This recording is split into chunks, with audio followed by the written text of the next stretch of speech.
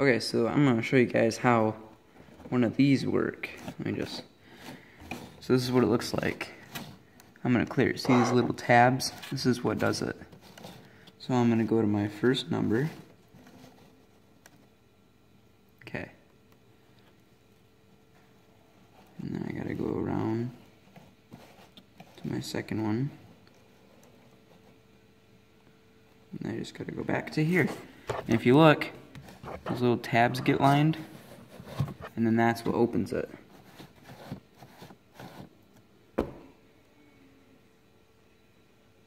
Good.